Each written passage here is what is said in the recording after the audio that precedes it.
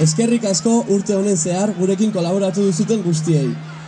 Eskerrik asko gure ondoan egon zaretenei, bai hasieratik, bai edozen momentuaren zehar. Ta batez ere, mila esker gure belaunaldiari, esfortzu eta ilusio horrengatik. Oberena, zuetaz gozatzea izan da, ate ez ezagunak zinetenak, gaur lagunak bihurtu zarete eta. Después de este gran año, por fin ha llegado nuestro día. Esperemos que lo disfrutéis tanto como lo vamos a disfrutar nosotros.